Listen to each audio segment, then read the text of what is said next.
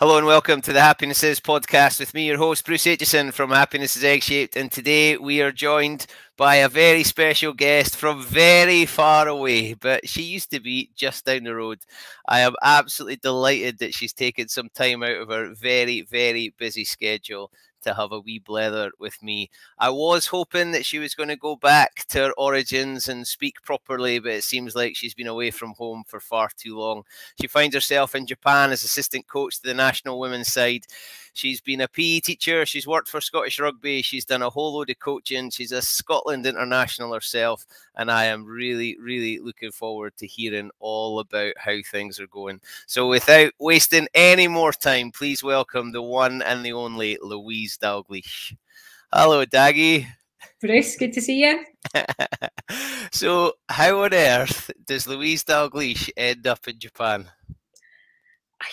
Connections, I think, um, and probably just making the right choices at the right times. I think was probably the kind of the root of it all. So, God, where does that? Where do I start from? Um, kind of left teaching 2018 when I went to work for Scottish Rugby and the rugby development team, and I think at that point there was a it was there was a lot of motivation around what else can I do in coaching, and the job with the rugby development team just allowed a little bit more flexibility around that. So, as much as obviously there's so many benefits to teaching and the holidays and lots of other things, um, probably wasn't getting the flexibility that I wanted to develop as a coach. So, figured I'd give that a kind of take a take a step away from education, see what came up, see what happened.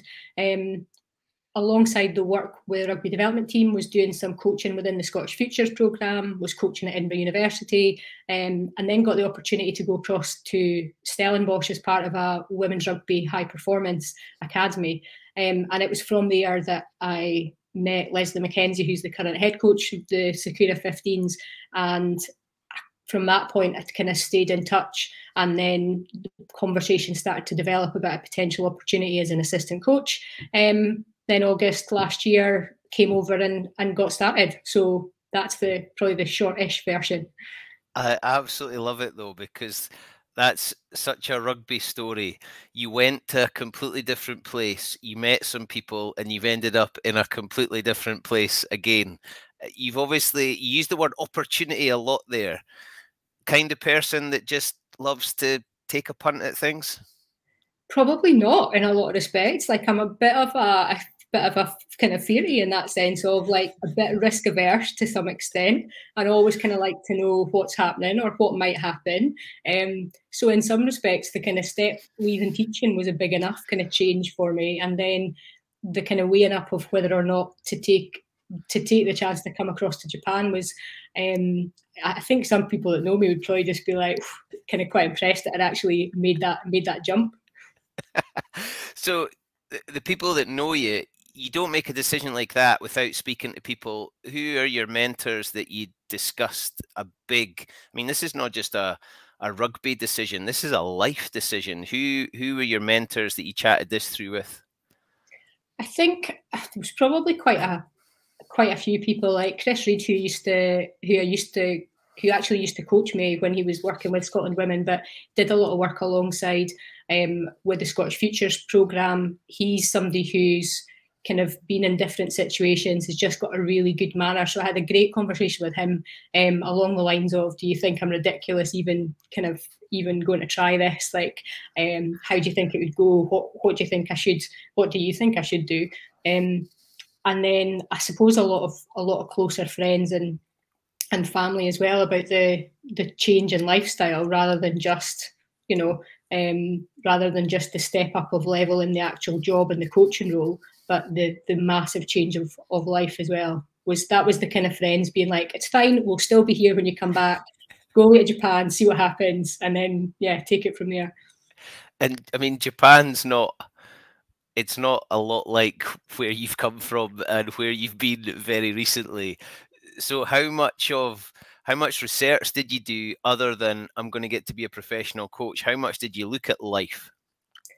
Um, probably not enough, if I'm honest. But I think the the benefit that I had is that Lesley, when she'd come across to start working in Japan, she'd been coaching in New Zealand, so she had gone through some of the initial I suppose, challenges of moving to somewhere that's a totally different culture. It's maybe got a completely different approach. So, from that sense, she was brilliant in being like, you can maybe expect this to happen. Like, don't expect that to happen. These are some of the things that you should maybe kind of prepare for.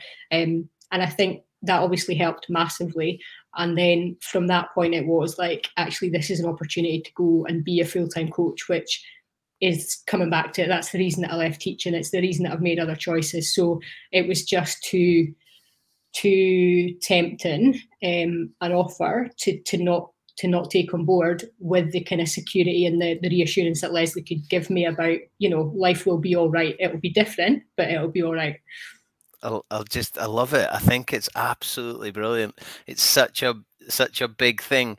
But you're you obviously love coaching, teaching. It's been something you've been involved with for such a long time. Um, you obviously love sport and developing people and working with people. What have you found in Japan that's similar to your experiences? And is there anything that you've raised your eyebrows at and went, "Whoa, I've never seen that before"? I think the in terms of I don't I don't know if it's that I've raised my eyebrows at, but one of the things that I've I think is maybe one of the biggest challenges that I've probably always relied on is that ability for like small conversations and obviously to take that away with the language barrier and working through a translator um, that's probably been one thing that I've kind of had, had to get used to. Um, but in terms of of the similarities like the players are, you know, they're so willing to learn. Women's game is still probably not held in the same regard as the male game. So there's a lot of challenges that, that players will face, but just being able to to try and work with them because they are so yeah kind of so enthused about getting better. They want to learn. They want to kind of go and challenge at the World Cup. So I suppose that motivation of athletes is is, is similar. Um, and it's definitely been a, a kind of a huge positive for the squad that that I'm working with at the moment. So small conversations as a teacher, it's to the the kid that's last in or that needs that little bit of attention. It's to your top performer who needs to be pushed. It's to the middle group to to encourage. You know, it's relentless. How on earth are you getting over that challenge then through a translator? Are, are they just constantly on your shoulder? Um, I, there's been various various kind of setups and, and, scenarios, but I've always got when I'm on field, there's always a translator there delivering um, kind of delivering the, the, parts of the session. I think the bits that I've have been challenged with and I've and actually have needed to get better at and probably still need to get better again are just making sure that some of my previewing of the sessions and my delivery of what I actually want out of um, on-field sessions prior to them has really got to be succinct and come back to maybe like coming back to the real key points or messages and making sure that that I can I can deliver them or I can bring the players back to them really easily so that they are clear on on the expectations. And in terms of the additional conversations, they still have to be quite planned. So I'd still need to, you know, get another member of the management team to to do translations, even if it's a one-on-one chat at the end of a day in camp, um, to pick up kind of things with players. Um, which, like I say, it, it is a challenge, but finding ways around it. And I think they're getting more used to me now as well. So there's there's bits where the language is starting to cross over. So that's definitely helpful. A little bit of mixture of Hawick and Japanese. yeah, I'm not sure what you'd call that, but it's. Um, yeah, I still need to remember to slow down when I'm speaking. That's still a massive. When I get excited or when I get nervous, which are one and the same, I I mm-hmm. still speak far too quickly. So I think even at times over here, everybody's a bit like, "Daggy, slow down." Are the translators rugby folk, or or is their job just to translate? Do they understand the game? Can they pick up little nuances that you're trying to get across? It's a bit of a in terms of our squad at the moment. Actually, that's probably a bit of a mixture. So our lead S and C is kind of very rugby focused and fluent kind of English. Um, he kind of studied a lot of work in New Zealand, so he's brilliant in in that rugby translation and and working across not just the actual language but the the real meaning of the the game. Um, I think our team manager, who's also our line out specialist coach, she's also kind of learning that and picking up the the rugby side of it, um, and then one of the other translators within the management team very much removed from the rugby side, but she's learning. So it's just yeah, it's a bit of a mixture. Um, and yeah, that can at times we just need to be really careful. Again, coming back to making sure my message is clear and maybe doing a bit of prep with them before a conversation or before a meeting so that they kind of know what to expect and it just makes it all a bit smoother. As a CPD, this is absolutely phenomenal. Like, what an opportunity to have. What are you finding that you're better at now than maybe you were before you got on the boat and, and went to Japan? I think the level of detail and, and continually challenging my kind of knowledge, what I think I know, how I put that across, that's got like that's getting better. Um, and what, as I say, continues will continue to need to get better as we kind of prep towards a World Cup. Um, I think the yeah the the clarity of messaging and that how comfortable I am with the analysis side of the game and just what to look for and, and how to use that is is ramped up massively because I've had time to do it and it's been kind of a big focus to help me kind of help me learn about my players, but help me kind of look for how they're going to how I want them to improve, what we want to do next. Um, and yeah, just I think when you're working full time in rugby, you get so much more time to kind of to study the game more, don't you? And so you're constantly evolving your your wider knowledge of not just my own team and and what we're doing, but the wider competitions that are going on globally, the way teams are playing, the different trends, and and looking at things like that. So yeah, always like every oh, every day's a school day, isn't it? So yeah, there's always something new to learn. At times, the thing everybody wants, even even at the top level, coaches and players will say we want more time, whether that's time for analysis or preparation or rest or whatever it may be. Everybody wants more time. Uh, coming from full time work to what's almost a full time job on top of it with the coaching you were doing, have you found more time to do other things away from the game so that you feel refreshed and energized when it is right? I need to go and do my job now. Yeah, I'm probably getting better at that now. But I think initially I was like, I'm here as a full time coach. Every minute has got to be about rugby. Everything I do has got to be about rugby. And it was kind of good advice from other people around me that were like, it's okay to have an afternoon where you're doing some reading or you're doing this or you're going out or you're whatever. Um, because I think, like you say, going from fitting everything in when it was so busy in life to then having this time and actually a lot of time kind of potentially well a lot of time on my own. So that was even more disconcerting because i'm not used to like necessarily not being around either thousands of pupils in a school or a team in murrayfield or whatever. So um, yeah all this all this spare say spare time but all this time that i was then managing and had loads of time to do my job but actually i was probably spending i probably wasn't being efficient or effective enough with it. So that was yeah probably a big learning curve when i first arrived so when you first arrive, you pack your bags and you land at the airport. What what on earth happens? I mean, you what have you got? Two kit bags and uh, and no idea what's going on. Pretty much it. I had I bought myself a really large new suitcase to travel with, which was ridiculous, and then it was over overweight coming over, and that and a tradi- and an old school Scottish rugby wheelie bag actually, which clearly hasn't been back at the cupboard since I got here because I, I can't do that with a brand inside. Um, but yeah, pretty much got picked up at the airport got brought to my apartment in Kumagaya where I'm where I'm living and then had to spend two weeks isolating because of COVID restrictions at the time in August. So yeah, it was a it was an interesting introduction to Japan. and then you get a little bit of time to settle down and you go to your first session. I mean, your heart rate must have been through the roof to turn up at your first session. I was, I was a wreck. I was, told, I was so nervous. Like I'm, I probably still get nervous going into camps now because I feel like I'm, I, I feel like I'm still the newbie in that sense. But um, yeah, I think the the first camp that we went to, or that I was in Japan for, was based in Kamaishi. So absolutely beautiful place in in Japan, um, and that was the day after I got out of my two week isolation period. So literally packed for camp, went up to kind of meet the squad in Kamaishi and then spent I think it was a five or six day camp. So had had a few days up there. Um, actually, yeah, being front and centre and, and being with the team. So it was a bit of a whirlwind, to be honest. your, your head must have hit the pillow on that first night and just be like, oh my, what have I done here?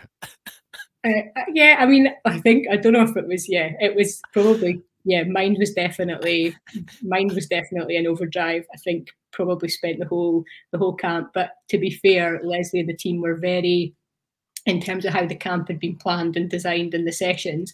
It wasn't a case of like, right, you're on you're on the field first and you're leading this and that and whatever else. The the kind of session design and and how it was all put together was was quite a it was a nice kind of in kind of introduction, um, just to spend a bit of time getting to know the players and starting to pick up bits and pieces, but not not have too much responsibility my, uh, on me in that first camp, which which I obviously really appreciated.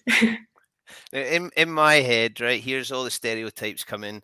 Um, in Japan, everything's efficient, everything's on time. Uh, there's lots of ceremony. So when a new coach comes into camp, did you did you go through anything? Were there official things that you had to do? Was there any kind of welcome to you, or was it just there's your tracksuit, bring your whistle, we start at nine? Um, there wasn't too much ceremony actually. Like I'd obviously had some formal meetings before I arrived in um, before I arrived in Japan. So Kamaishi was quite nice in that sense because it literally, I think, show our manager had my kit was delivered to the hotel in Kamaishi, so kind of turned up the staff meet the day before, so we'd met. We were able to have a bit of a chat about what the program was and uh, got my kit, which is obviously still exciting, regardless of what age you are or what, what team you're representing. It's just like everybody loves stash day. uh, so, and then it was, yeah, it was it was just then a case of, of starting to meet anybody who um, who I kind of hadn't met out of the management team. Um, but like I say, most of the introductions had been done online prior to that, so it was a relatively easy kind of transition into that first camp. And then one of your first jobs is to come to Scotland and play against Scotland. I know, it's hardly been away, and then I was coming back. Um, yeah, which was brilliant. I mean, it was so nice because even you know, being away for a couple of months by that point, I think it gave me the, you know, did I forget anything and got my mum to pick up a couple of bits and pieces, like back to them. Uh, caramel wafers and Irn-Bru.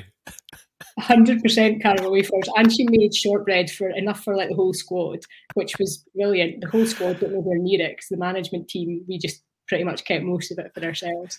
Um, but the yeah, just being able to be back and obviously first tour with the team after a couple of camps to be back in the UK and, and particularly at the Dam Health because I'd watched it being kind of watched the ground being dug up and watched it being built through time working at Murrayfield. So to to be able to be there as a as a visiting coach was quite a it was quite a surreal moment, but absolutely loved it. Obviously, just really enjoyed the whole experience. It must have been cool because you you know I, I love being at Murrayfield and I'm there probably more often than I should be. But you know, you walk along and you, you bump into security and you bump into staff and you bump it. You must have just been oh well, you probably weren't allowed to, but you must have seen so many people at least have a chat to, and they would be all over you, so pleased to see you. Oh, it was brilliant. I mean, that's the thing. Like walking along the first first training that we did at the Dam Health, um, seeing the ground staff, seeing the boys, and just being like, "How you doing?" Like different kit. Um, Edinburgh were just coming off the pitch, so had a good chat with Kitty McRae just as, and we actually caught up then since when I got back. So it was just yeah, so nice to to see all those familiar faces, and then obviously on on game day to see the kind of Scotland coaching team, the players, and and some of the kind of medics and, and management team that I've worked with as well. So it was nice, really nice experience, and and good to be back. No, it was the result. I was absolutely gutted. I was due to be at that and he got COVID, didn't I? Uh, uh, it was it was quite a game as well. How how did you take the positives out of that game? I think, in terms of the what we took out of the tour, there was always going to be massive learnings, and and from attack point of view, some of the the things that we did against Scotland, I think we were more effective, even though we spent kind of 60 minutes playing with 14 players.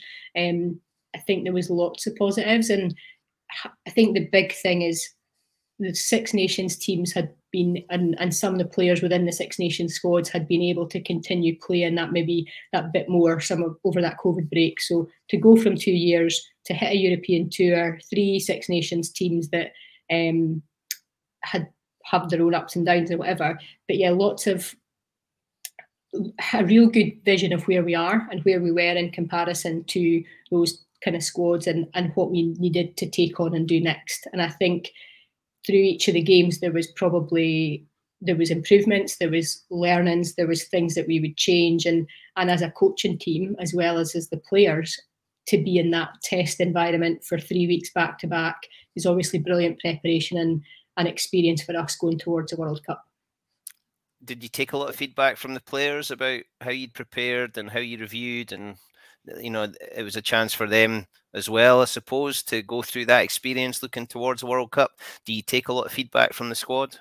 Yeah, I think it's important. We've got some. There's a, a lot of our, our kind of our squad, as as many do, broken down into different drivers groups and leadership groups in different areas. So there's there was ways that we would, you know, the different ways that we reviewed the overall performance after Ireland, but kind of after the, the tour in general, just looking at not only them as individuals, but yeah, what collectively did we do right? What do we need?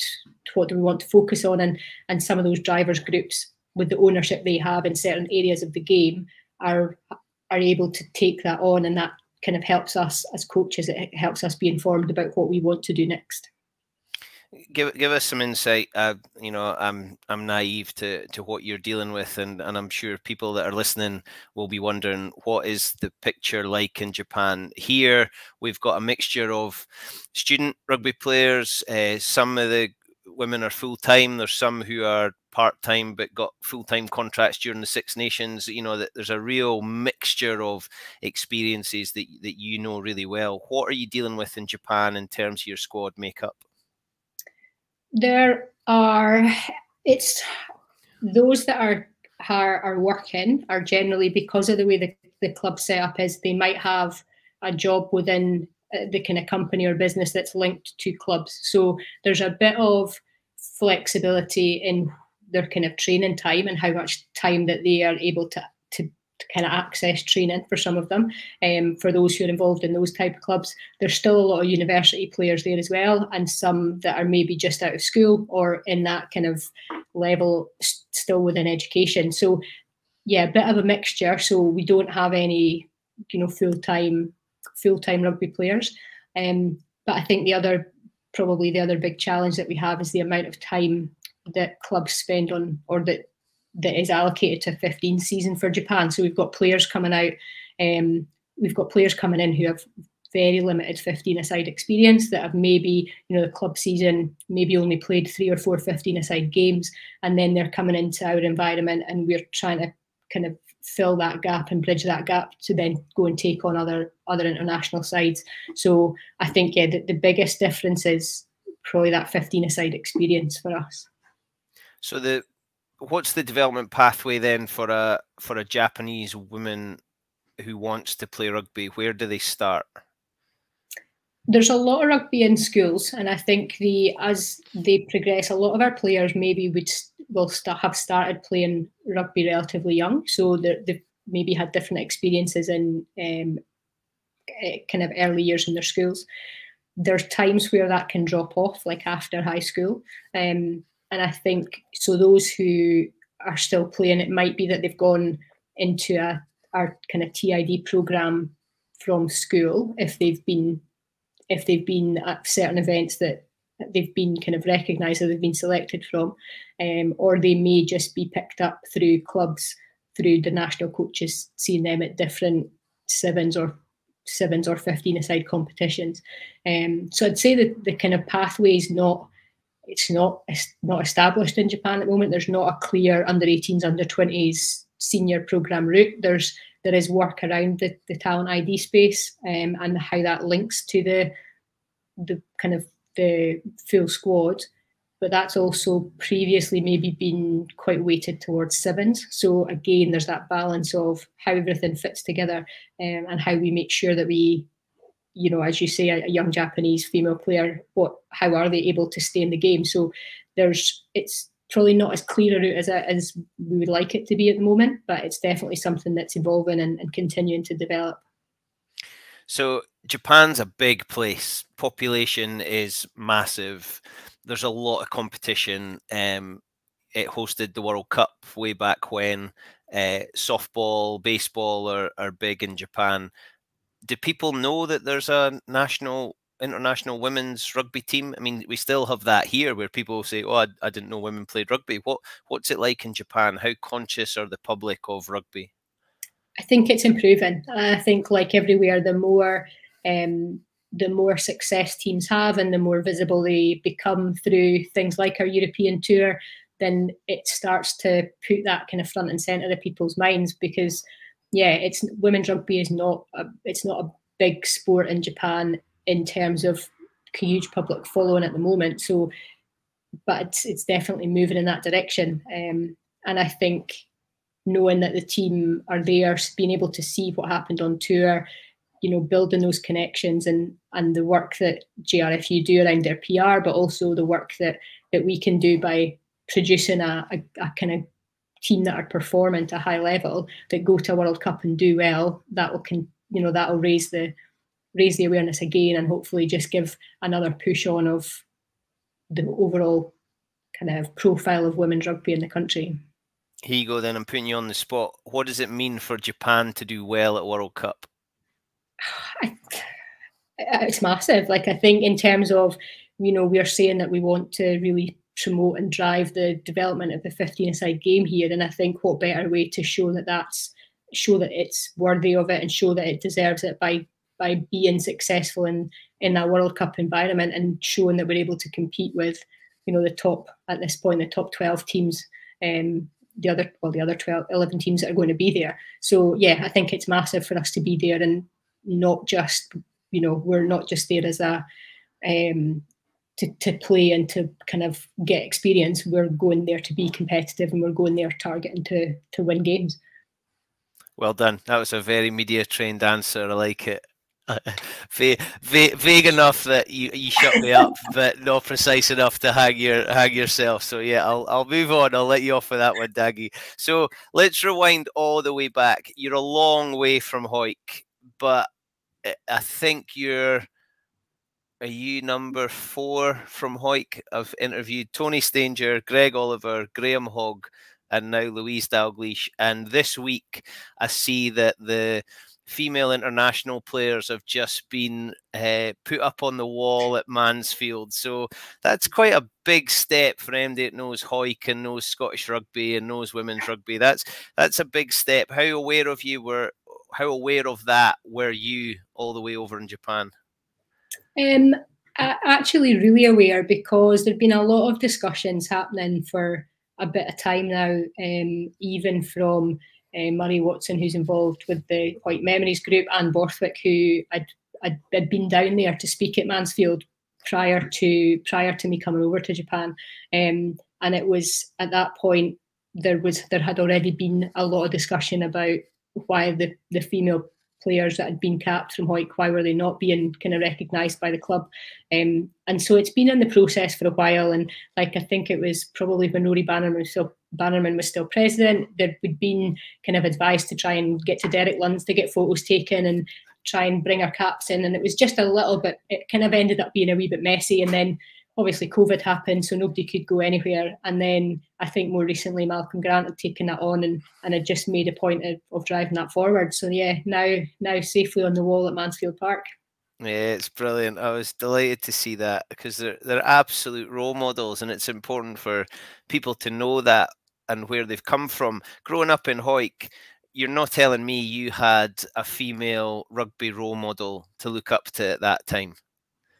No, well, technically, like I grew up at, in Teviothead, so I was like halfway between Hawick and Langholm um, in the kind of early early days, and then kind of moved into Hawick about well primary six or seven, I think it was. Um, yeah, I, I, again, like we said earlier, I don't think I knew that kind of women played rugby. Like I remember watching Tony Stanger, watching the Scotland teams on the telly, watching the Five Nations as it was, um, and then probably wasn't until uh, first year at Hawick High School. I think it was an inter-house competition. It was New Image Rugby or whatever it was at that point um, that I got involved in, and I was a little bit like, oh yeah, this is, you know, I could give this a crack. Um, but then even then, it was another couple of years before I found out that Hawick Ladies had a team or had a at that point had an under 16s team, and then kind of rocked along to the PSA pitch.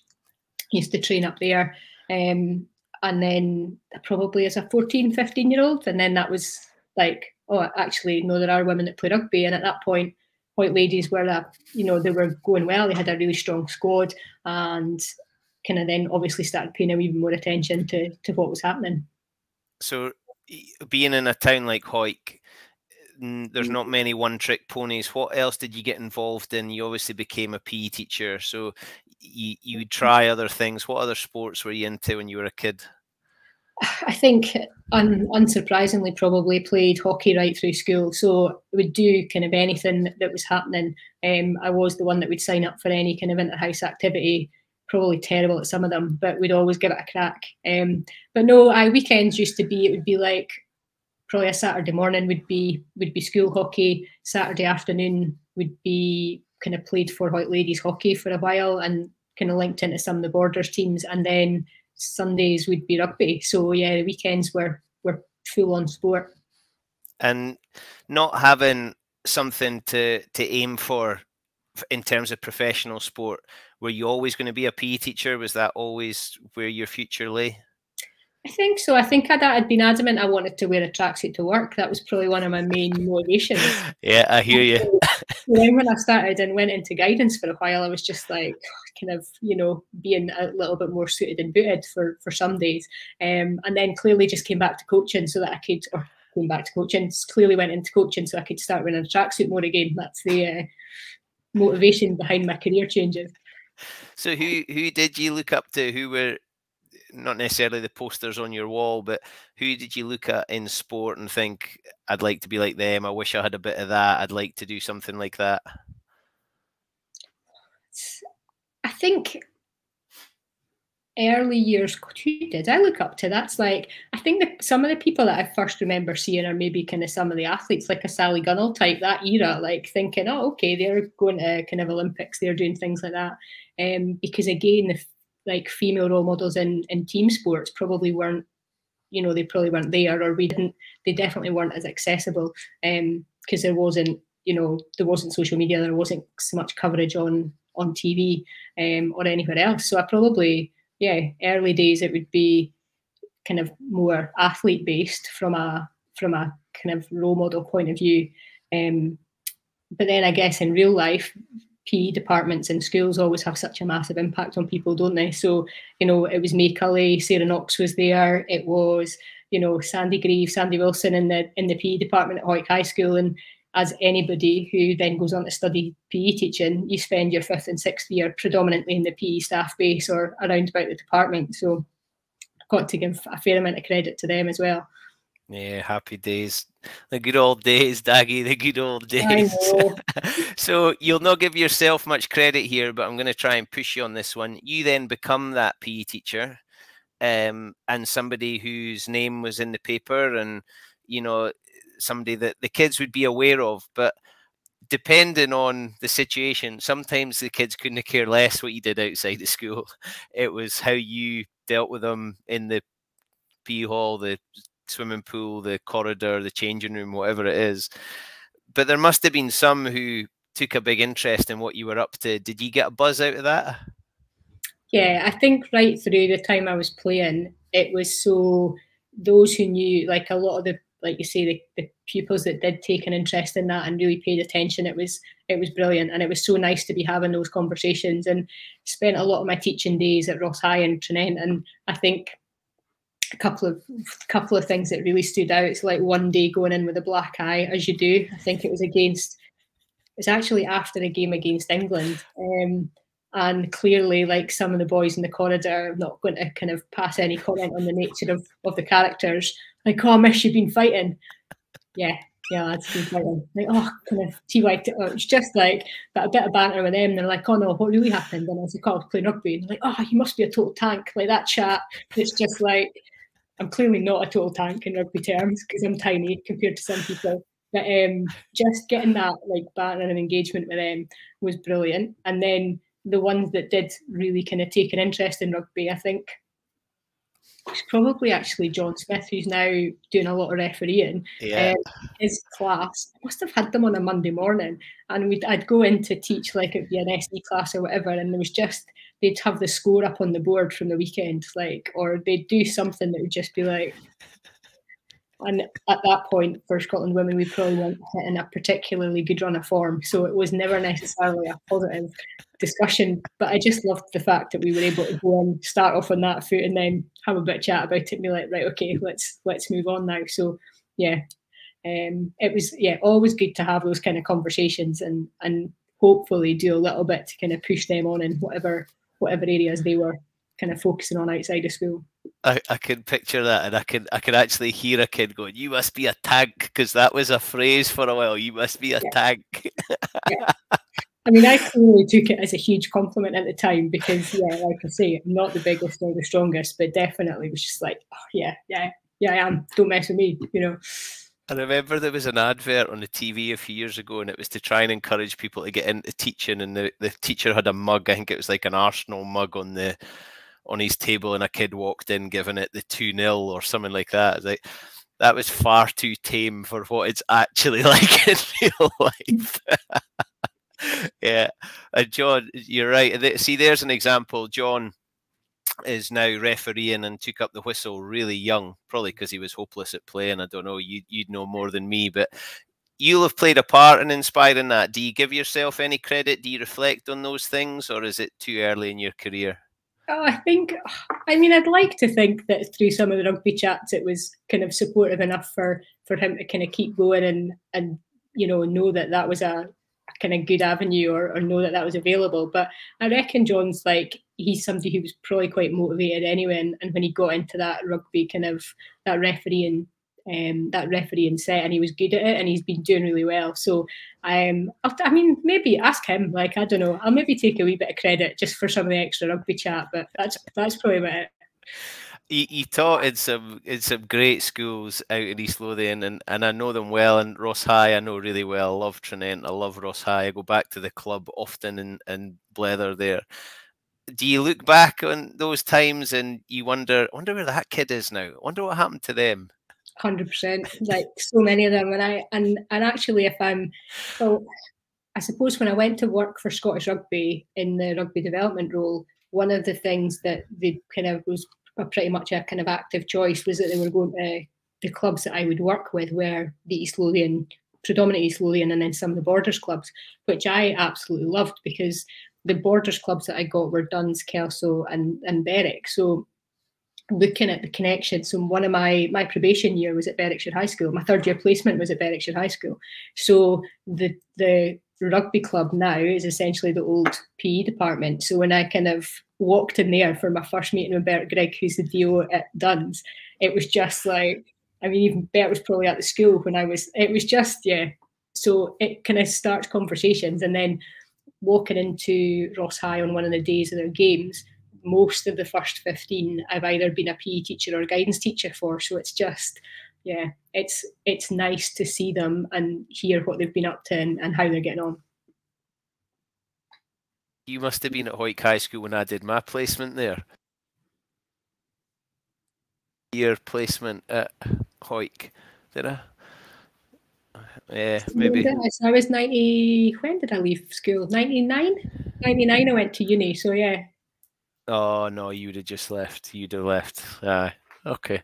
Uh, so you then you then start playing. Uh, you've mentioned playing for Scotland. How do you how do you play for Scotland and have a full time job? I think yeah, as as many people are still finding, like it's challenging and it's all about time management and it's all about knowing that you like if you're putting if you're putting a full time job and a commitment to rugby together, then you're probably taking out other areas. So you're knowing that you're making an active choice that you know you're not going to be able to attend family events or go to certain things or spend so much time in kind of holidays or socializing or, or whatever else because your holidays from work invariably I mean, obviously, I was lucky as, as a teacher, but your time off work is for rugby, or you know, you're constantly managing the training or the expectations in between. So, um, I, I guess I, what I would say is I was really lucky, even from my probation year at Berwickshire High School, that the schools that I worked at were really supportive in terms of not making it too difficult to get time off. Like East Lothian Council and the head teachers at, at Ross High, they would, you know, we would work out the best way of doing it. It would just be about kind of good communication with them and getting their support and then um, working around it as as best we could so that I didn't miss anything. Um, but yeah, I think the tough bits were probably that, like driving from East Lothian to to the gym at BT Murrayfield on a horrible dark December night and you can't get into the gym until a certain time. So you're, you know, you're stuck in traffic coming around the bypass and you're just like, what's what what is this about uh, on a Friday evening on a Wednesday evening or whatever. Um, but yeah, it's it's a choice a choice that we make, and fortunately now it's moving towards less players having to have that real full time commitment. Um, on top of the rugby, full time work commitment on top of rugby, but obviously still still changes that could be made and hopefully progression, further progression to come. You obviously loved it though, and you've never mentioned the word sacrifice, which I love. I think the first thing you said was active active choice. Uh, you obviously loved it. What what was it that kept you going round the bypass on a wet, you know, Wednesday night in December? the teams, wasn't it? Like it's always the kind of teammates in that bigger picture of what you're doing it for. So I um yeah, I think we had a great wee training group that that were at kind of the gym at Murrayfield. We'd put our Cher CD on, you know, get really pumped in the, the gym. that, was a, was a standing joke for a long time because the Cher CD kept going missing. So yeah, we um needed to dig that out occasionally. But who no, who was the training group? Come on, name check them. Who was your training group? Who did we have? I'm trying to think. Well, Beth Dickens was definitely in the mix. So it was like Sarah Louise Walker, Beth Dickens, Sarah Gill was either there. Sure she'd be involved in the Cher chat. Kerry Holdsworth. Um, yeah, that, that kind of group that that trained together in Edinburgh. So um, it was always you knew when you got there that it was you you were going to enjoy that kind of time with with the teammates and with your squad mates. So yeah, it was uh, it, it made the drives it made the yeah sitting in the car worth it. Who do you look back on and you think they were a proper player? Like who did you play with and you think they they were very very good at what they did? I think there's probably a few. I mean, Donna Kennedy's an obvious one that that jumps out. She was obviously playing um, when I started, and, and having her as as an eight when I was then kind of moving and starting to, to play a nine was phenomenal. Um, ahead of me, like Paula Chalmers playing nine prior to just when I was coming into the squad. Um, some of those kind of Rima, who was playing at the time, was just a phenomenal athlete. So um, a lot of people around that era that um, yeah that, that really stood out and you just wanted to be better because they were you know they'd set the standard they were um, they were good rugby players. They'd done a lot for Scotland women, and you wanted to kind of work towards that and kind of emulate that. Um, who else? I mean, Lucy Millard for kind of ability, footwork, finishing over the years that I was playing. Um, like I said, we maybe didn't have the most successful run over that period of time, but um, Lucy was just somebody who was always a, an attacking threat and, and just great, um, great to have in the field you had to endure a lot in that period. I think your your group, the game had moved from being kind of keen amateurs to probably serious amateurs. I'm trying to work out a, a term here to the group that are now around that are benefiting from the hard work and effort that you guys put in, not just in the way you played, but the role modeling and the contribution you've given back you know, Claire Cruikshank, I know you worked with at Edinburgh Uni, and there's there's so many women who were so passionate about the game who are putting back in. What do you think is the legacy of that era that that you played in? Think the what's the legacy? That's a.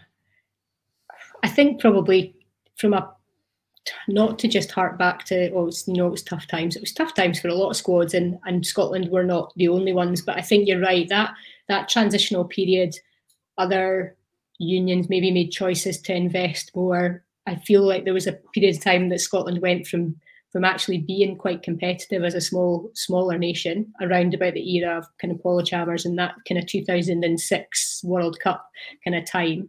Um, as we as other teams moved forward, it felt like Scotland just maybe got stuck a little bit, and then the gap maybe opened up, um, which I think is now very much closing again, or you know overlapping with other kind of other other teams. So I don't know if that says what our legacy is. I mean, we're still going. I think there was a time where there was discussion about whether or not Scotland women should remain in the Six Nations, and there was conversations with MSPs. There was different things kind of happening in the background. So I think the big thing is that now the unions see the importance of the women's squad and the the choices, you know, from back when maybe when it was Sheila Begbie that, that took on that head of, of women and girls role putting in full-time coach, putting in a full-time S&C, putting in the full-time physio. That was the initial moves that started that kind of regeneration, if you like. So I think, yeah, it's easy to look back and be like, oh, that was really difficult. But, you know, it was what it was. We've got through it.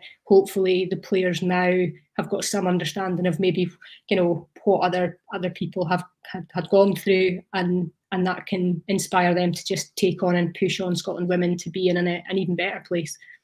Yeah, I, I love it. That that period of time were the World Cups your highlights?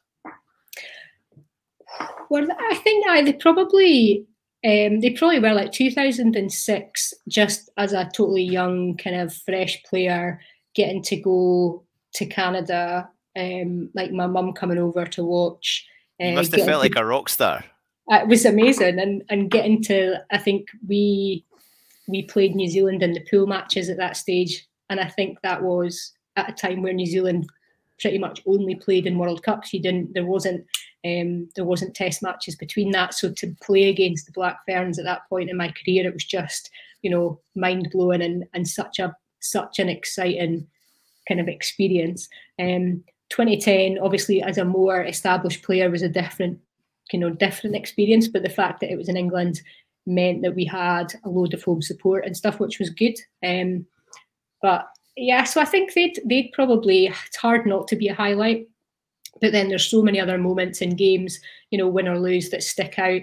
Um, French game in the 2010 Six Nations when we kind of beat them at Lasswade on a horrible Friday night. Um, you know, Lindsay Smith trying to knock me out in the changing rooms at Twickenham pre pre Six Nations match when we were on the wrong side of a pretty horrendous result there. I mean, you know, there's plenty more highlights in there as well as World Cups. I I always I always say this to people I get a chance to speak to, and you know I never played to the level you played at. I can remember about three results in my lifetime. The bit I would give anything for is to be back in the changing room. What changing room do you miss the most?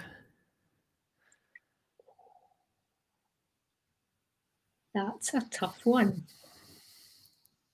as I, yeah, um, I yeah, I reckon just being kind of in with the Scotland team, like yeah, it's probably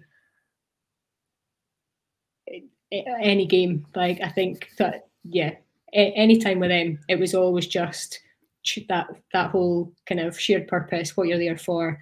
Yeah, good teammates. Although IHC Cougars was always good fun, so you know, club changing in V country, it's always going to be a slightly different vibe. So I, I maybe shouldn't compare them. Yeah, I can, I can imagine that bunch of cougars having a grand old time. The the bit I look at now and I see, you know, you see pictures in the changing room that are obviously not just off mobile phones, they're from proper photographers floating around the changing room for the social media. I get all that. That that wasn't there when you played. There there must be moments from squads you were in, teams you were in, where there was no cameras, the door was closed, you saw people at their absolute best, their happiest, their absolute worst, injury, defeat, all those things. What what has that done to help you become Louise Dalgliesh, the woman, not just not just the rugby player, being involved in that environment? What's that done? I think there's probably that respect and understanding for how like people's differences. So you know, you you you pick out, you know, your teammates that need a bit of, need a bit of extra space, or you start really understanding the the needs of individuals rather than it's not everybody's not they don't behave the same way win or lose they don't behave the same way after a challenge or after an injury so it just feels like that connection with the with the people and how well you can kind of understand the people around about you i think is probably what i take from that and what you kind of see in those environments that is not like say it's not kind of a photo of it it's not a moment it's it's just being there and, and going through it with with others when you look at the game now and you know we're we're into the Six Nations uh, here, and there's so many positive role models. TikToker, a headline sponsor. We still don't actually know what that means, but they've put their name to it. They're helping to promote it. What do you look at now and think that's why girls should play the game of rugby? I think the, the whole, I suppose the whole package, like it's we know that rugby's always been a sport where everybody's got a, an opportunity to do well, like in terms of, of differences and forwards and backs and, and how how you can grow in a game. Um, and I just, but I think the coverage that it's getting now, the enjoyment that you're seeing, that you, you get from some of the behind the scenes footage and how people speak about their teammates, like it just shows what a positive environment a kind of a rugby team can be. Um, so not only the kind of athleticism and the training side that's involved, but also just that, like some of the, the content on TikTok is just it's just really it's engaging because it's fun and it's people that are from loads of different backgrounds really connecting with a whole load of young female players that are now aspiring to be rugby players when yeah we've, we've not had that before so it's it's brilliant to see and it's just so exciting to to watch how it's progressing and, and watch how it's continuing to develop. What does rugby do for body positivity for women?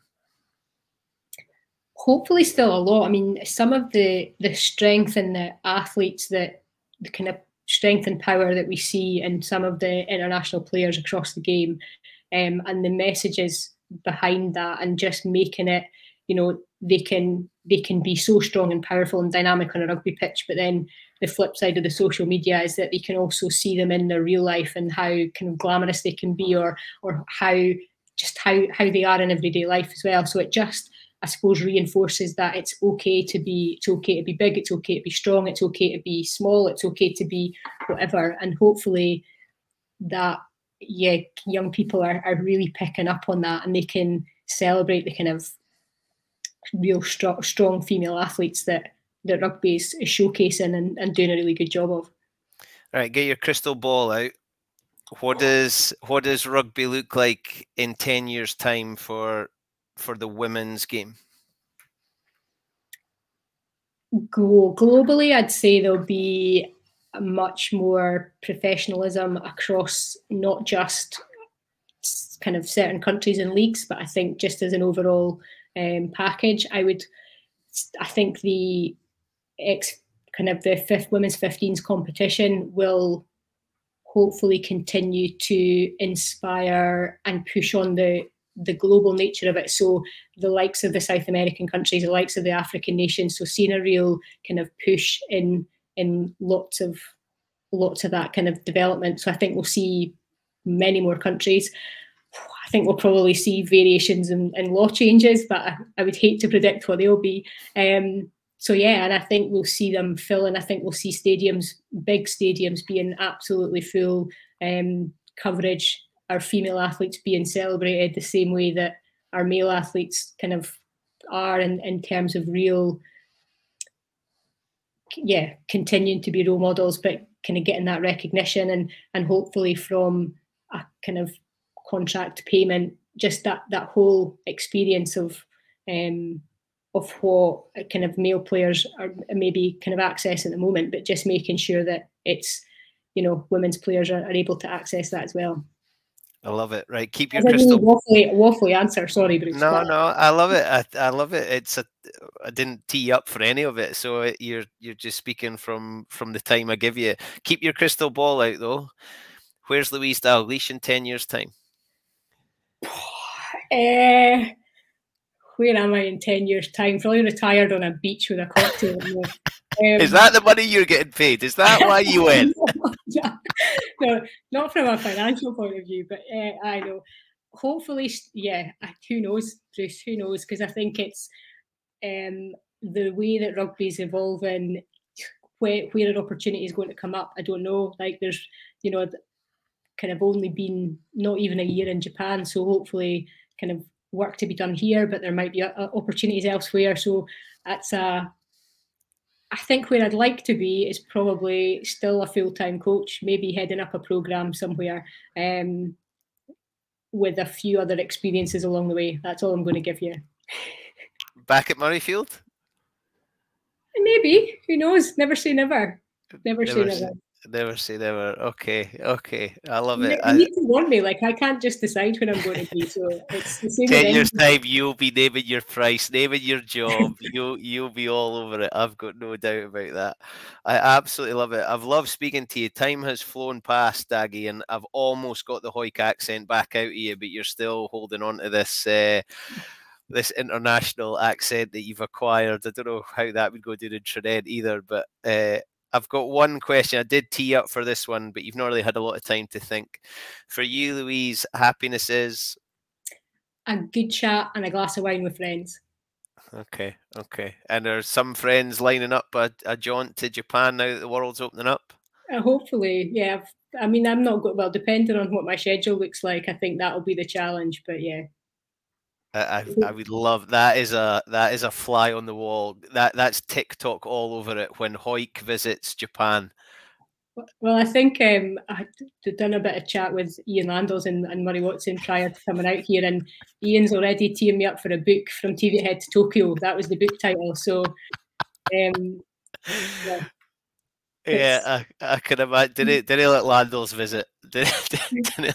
That, that could be interesting. That's definitely get Channel Four or or ITV or somebody to follow that. Teviothead to Tokyo. Yeah, that's that's the route we're going. I thought it was quite catchy actually. So yeah, I like that. Well, get writing in the spare time you've got. You can start yeah. writing. I'm on it. What's, I'm on it. what's the what's the best away from rugby? What's the best thing you've found in Japan? What's the thing that you think I can't get this anywhere else and I love it? Oh, the just at the weekend actually, kind of onsens and hot springs and some of that hot bath stuff is just yeah, kind of re- that's that's been good. And obviously, um, the food is amazing, but that's two things. Sorry. No, it's all right. I love that. I, I, spoke to Greig Laidlaw between Christmas and New Year, and he was telling me in Japan that uh, you have KFC for Christmas meal. It's yeah, common. Like you have to book it really early um, to make sure you get it. I actually went didn't go for KFC. I went to an Indian instead. So yeah. Uh, you're, you're a long way from Teviothead now, Daggy. Curry on Christmas Day, yeah. that is magic. That could be a that could be a tradition that you bring back with you, or wherever you go. I don't know if you're coming back. Wherever you go, you get to take over the world. I reckon. Fingers crossed. Fingers crossed. Daggy, thank you so much. I've absolutely loved speaking to you. All the best, and I can't wait to see how Japan go with with Hawick at the helm. Brilliant. Cheers, Bruce. Lovely to speak to you. Speak to you soon. Bye bye. Cheers. See you later.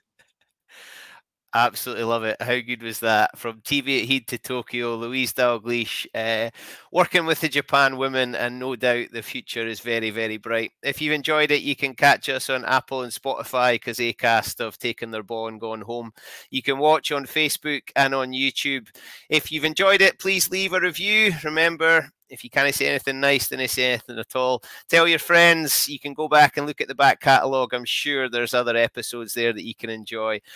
Louise Dalgliesh is doing great things and spreading the rugby gospel from Hawick all the way over to Japan, and then she's heading for the World Cup. It's going to be brilliant to watch that journey. My name is Bruce Aitchison from the Happiness Is podcast, and my happiness is egg shaped. Stay safe, and I look forward to speaking to you all again very, very